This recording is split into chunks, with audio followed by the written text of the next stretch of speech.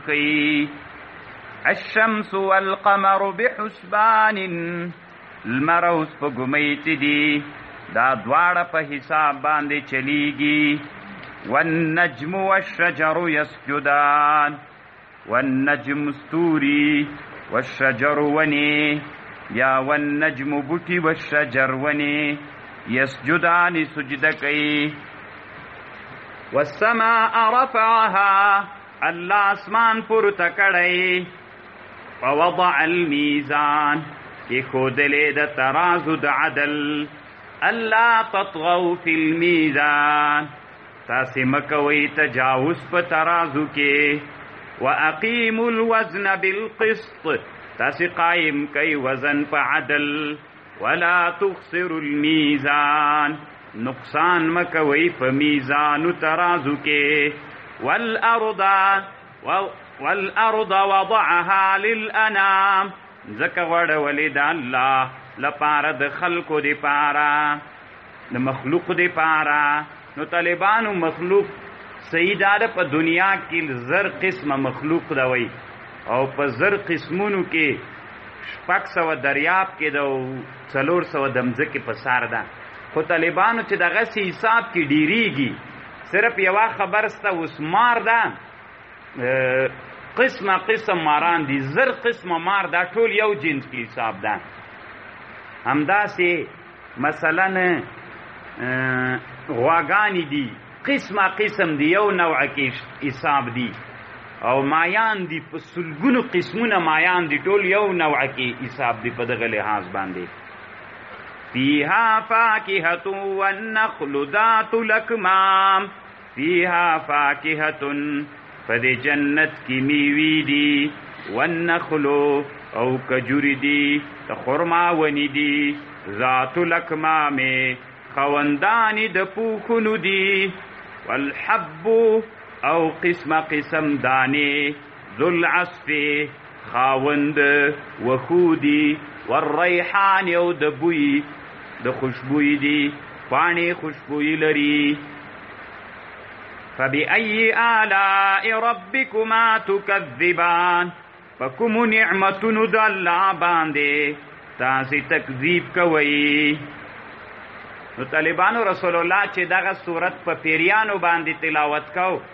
صحابه او ته رسول الله ویلی وی تاسو نه پیریان خول وای ما به چورتو ویلی فبأي آلاء ربكما تكذبان دی پیریانو برات ویلی چې الله دی تا په یو نعمت باندې مونږه ناشکری نه کوو نو غي وی جواب راکاو تاسو ولی جواب را نه کوي خلق الانسان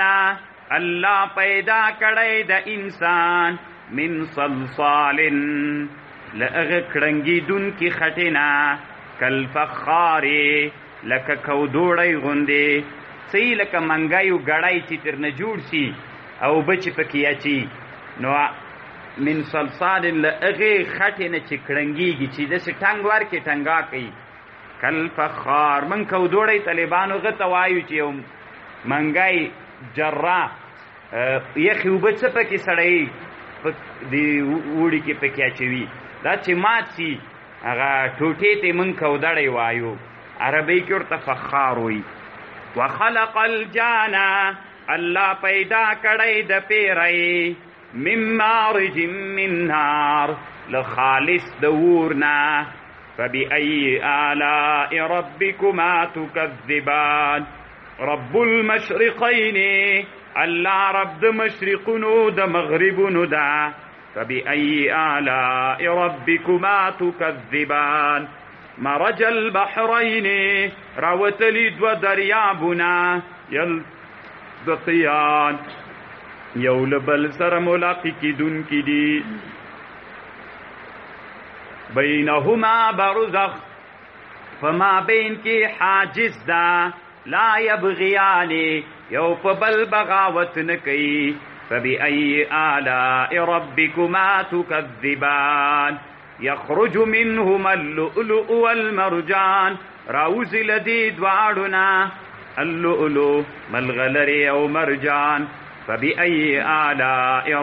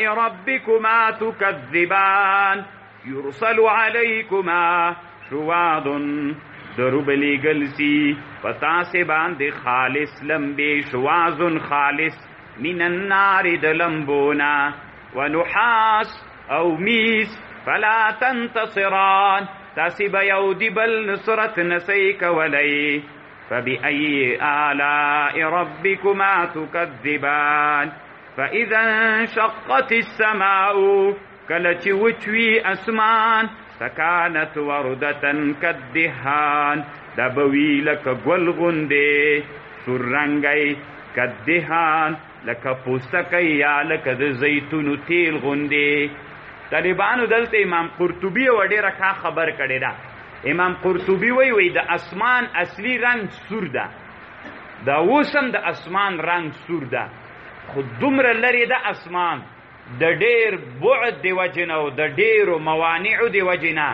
اسمان مونږ ته شین رنګی ښکاریږي او د دې لپاره یو دلیل وای دا ده که تاسو فکر وکړئ طالبانو د انسان په لاس کې رګونه دي رګ کې څه رقم ته وینه ده څه رقم ته ښکاریږي شین ډېر بعدونو د وجې نه سور شی وي شین ښکاریږي دغه امام قرطبي رحمه الله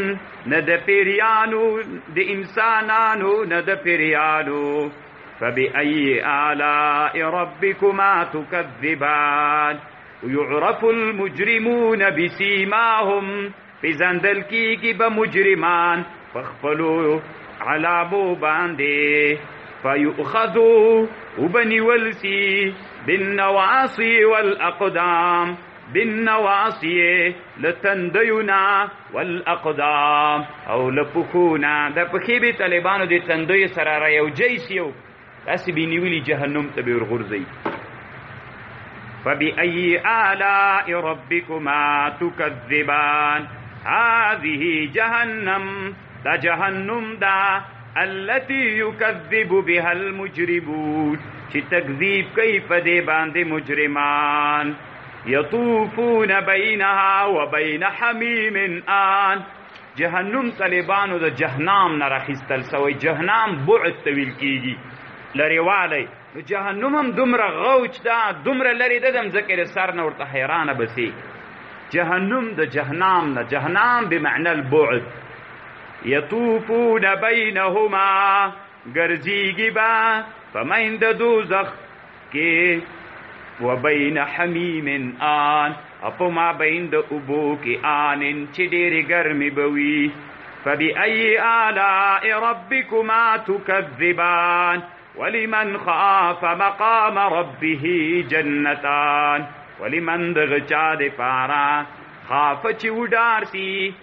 د مقام د رب نه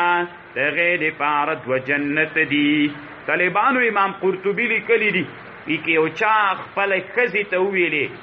چې ته که د جنت ښځه نه یې په ما دې طلاق یې وي طلاق نه واقع کېږي خو که چېرته دا ښځه په یو ګناه واقفه سوي وي او دې ښځې د ګناه نه ځان ساتلی وي د الله نه ډارې سوي وي وی که دلته سړی بیا وایي که ته جنتي نه یې په ما دې ته طلاق وي طلاق نه واقع کېږي ولې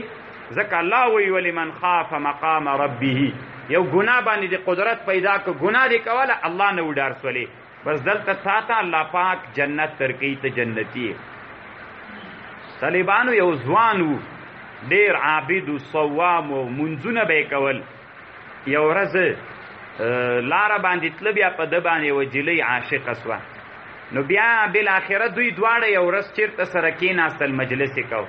نو معاملې ته اراده وکړه نو د الک ویلی چې باید د آیات رو پیاد سو نو وډار سو زنای ونه کړله الته په د بیوشي راغله لوغور دیده درې واره غي خبر سوی و تره ورغی هغه یې راوړل کور ته یې راوړ بیهوشه و بیرته چې لږ را په حال سو نو خپل تره ته یې ویلې ورسه عمر صاحب ته ووایه چې ولمن خاف مقام ربه شي دي دغه دې پاره چې څوک له الله نه وډار سي او ګناه پرېږدي وي نه کي نو ترې لاړو عمر صاحب ته دی دلته پروت دی یوه بله چیغه وکړله وفات سو عمر زیات هغه پکې ولا وفات سو چې راغی کور ته نو وفات سوی وو عمر رضی الله عنه ورته ودرېد او دی بیچارګی وفات وو عمر سے برتویلی جنتان جنتان ولی خاف مقام ربی غور تویلی ول د جواب کې ورتویلی جنتان جنتان نو الله دې موږ او تاسو ته اول په ګناه قدرت نه راکړي او کرا کې د الله نه وډار سلو دا سړی جنتی ده طالبانو یوا مسأله دلته کله کله سړی قران اوري سړی باندې داسې یو قسم حالت راسي چې هغه مانا تر مړ سي. یعنې تاسې ته به زړه کې سوال درېږي چې حماسي هره ورځ نارې ویې چې وجد نسته ده او تواجد نسته کلا وحاشا طالبانو وجد ستا تواجد نشته تواجد هم ستا طالبانو خو ناروا ده فرق په مابین کې دا ده وجد طالبانو هغه ته ویل کېږي چې غیر اختیاري په سړي راځي یو څوک د چا خبرې او تقریر اوري یو ناڅاپه داسې جذبه پې باندې راسي غیر اختیاري زړه یې وچوي ډېر داسې سته ما سره طالبانو یو مخطوط کتاب ده داسې ښه نومېږي نو هغه ډېر په تکلیف مطالعه پکې کېږي دومره ډېر تابعین په دې مړه سوي چې د قرآن آیت په مانځه کې اورېدلی ده هم تاثیر په باندې کړی زړه په راغلی مرګ سبب ګرځیدلی ده او دغه موجد الله ور په یاد سو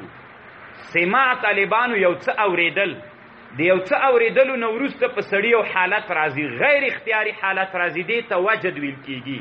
دغه غیر اختیاري حالت چې په سړی باندې راځي دغه په اسلام کې جایز ده اگر چې علی قاری وی ویدام حرام ده په فتح باب العنایه کې علی قاری وی اما طالبانو تواجد تواجد دی ته ویل کیږي چې غیر اختیاري نه وي قصدن وي چې بیا طالبانو دې ته رقص هم ویل کیږي رقص دې ته ویل کیږي رقص او تواجد چې یو سړی د خپل ځان نه خو طالبانو سمره سماع وي ته یو سماع اورې هلته داسې حرکات د ځان نه صادروې غیر اختیاري نه قصدا وي چې هغه منظم وي منظم حرکات وي لکه طالبانو موسیقي درته چلان دی وي ته داسې حرکات د ځان نه صادروي داسې ورته ګډېږي منظم او دا قصدا ته کوي دا رقص د طالبانو دې ته تواجد وي او رقص دا وجد غیر اختیاري وي نو طالبانو تواجد اسلام کې ناروا ده دا سامری کار ده د سامری د ملګرو عادت اه اسلام کې دا جواز نه لري او هغه چې غیر اختیاري راځي نو هغه تقریبا اکثر علما مني چې غي توجد لکیږي او تواجد او د وجد په مابین کې فرق ګوري ست تواجد تفاعل باب ده قصدن په ځان کې را پیدا کول دغه اسلام کې نسته چې منظم حرکات دي او هغه طالبانو که دوی وایي چې د منګم تواجد ده وای دیمنګم وجد ده دا څنګه وجد ده چې ټول تاسو سي په ګډېدا راځي او نور ناراضي نو دا څنګه وجد ده روح المانی طالبانو ډیر نر سړی د خیر د طالبانو د ما په خبرم ډیر اعتماد مکوي روح المانی خو به منی وی بعضی سوپیان دي قسم د طالبانو روح المانی لیکلی وی بعضی سوپیان دي وی قسم د د سوپیانو د نوک لاندې چې کم خیره دغه حالت تم دوی نه دی رسیدلی وای اسې تش په نامه سوپیان دي وی چې قران ورتوایه وای وجد مجد نه پی باندې راځي وای دای څه وای ته ودرېږه زه یو دوه پاڼو باندې په مصنوي باندې ورې ځان لږ زړه پاک کم بیا به قرآن ویښه دې کفر ته ته ګوره ګوره طالبانو تاسې د ما نه بیا غلط تعبیرونه کوي زه دغسې خلک ښه یم روح المعاني وایي وی بعضې صوفیان دي او هغه صوفیان دی د صوفیانو د نوک لاندې چې کوم خیره یې ده قلامة الظفر د هغې مرتبې ته هم نه رسېږي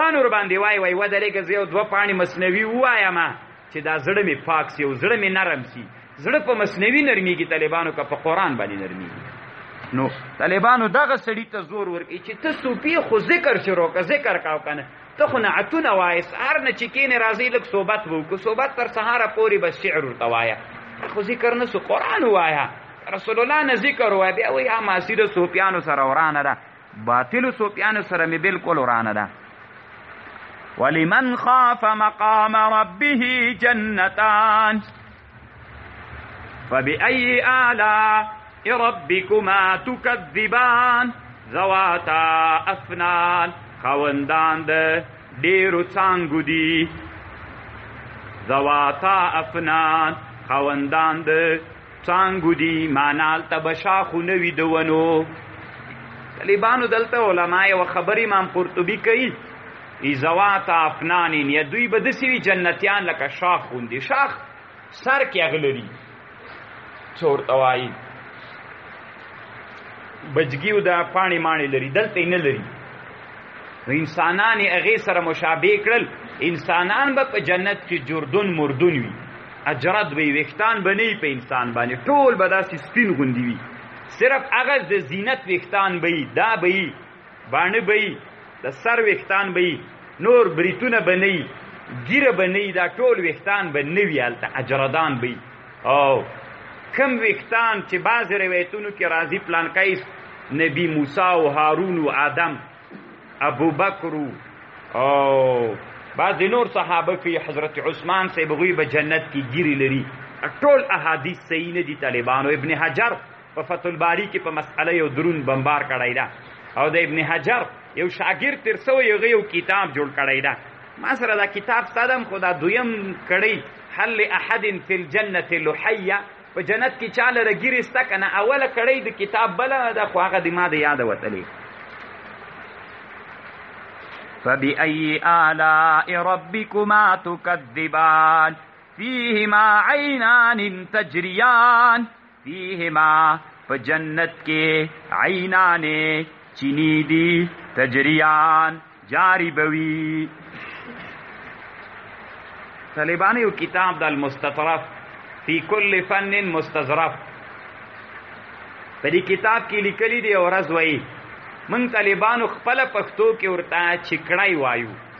وریځو نه پخیږي خیر د دار چا خپل اصطلاح ده د خوست د پکتیا خلک هغې ته تقریبا دندکای ورته وایي ډېر فرق مو یو څه سته پکې خیر بیا هم دی یو قسم پخوي موږ بل قسم طالبانو عیني هم په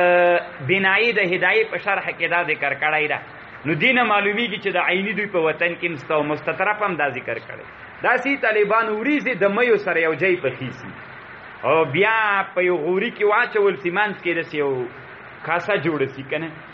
به دې کې کرت اچي یا څوک مستی اچي او یا څوک وړي ور باندې اچي نو دای جوړ کړی دی نو په دې ناس دی چې سړی مړی ترنو کې په دې کې داسې چوکا کې دی خوري نو ان شاء الله په ټول افغانستان کې به وي ځکه چې عیني پیژنې او په مستطرف کې ستنو بیا چې تاسو نه پیژنې الله پاک دې بیا په تاسو رحم وکړي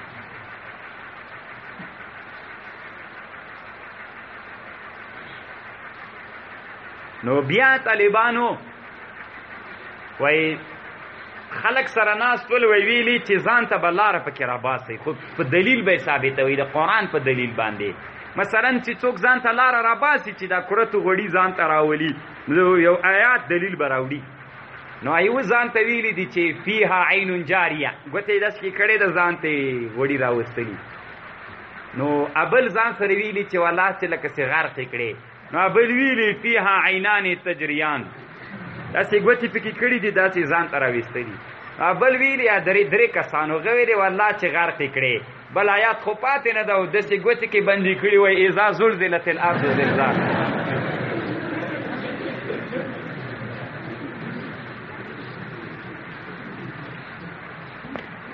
فبأي آلاء ربكما تكذبان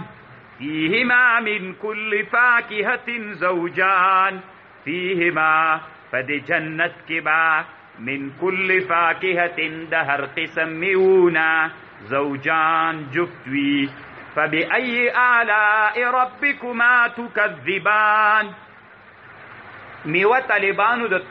فاکهه د تفکه نه د تفکه قوت طویل کیږي میوه هم سړی ته ډیر قوت ورکوي کنه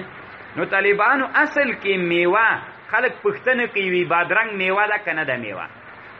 د طالبانو بادرنګ میوه نه او یو بل شای خوم خلق کوي چې هغه میوه ده کنه ها انګور هو انګور خو میوه ده څومره غټ قوت ده پکې امام سیف او د صاحبینو چې کې اختلاف ده اب طالبانو خپل کار کوي دلته د امام او د صاحبینو اختلاف څه کده د یمین په بحث کې چې راځي فاکهه طالبانو د تفقه نه د تفقه قوت ویل کیږي نو په دې کوم شي کې چې قوت وي هغه میوه ده خو طالبانو میوه اصل کې مخکې له ډوډۍ نه خوراک په کار ده او که وروسته په دې روح المانی یو تحقیق کوي باید د ډوډۍ نه مخکې وخوړل شي ځکه اصل میده خالی وي که نه نو هغه ډېر ښه جذبوي بې قوت ډېر ښه راولي روح المانی وی وی دام خدا چاول ډوډۍ خوري میوه پاس پسې خوري ځکه خوک شي بیا هضم ډیر خراولي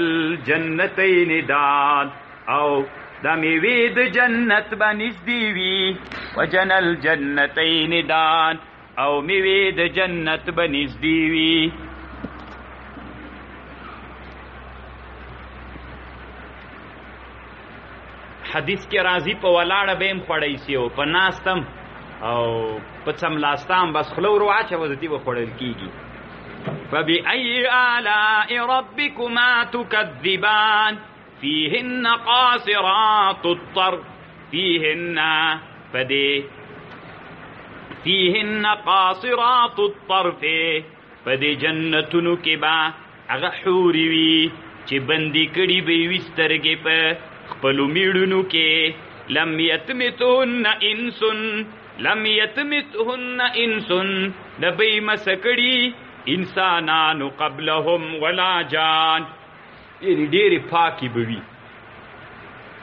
طالبانو کمی ښځې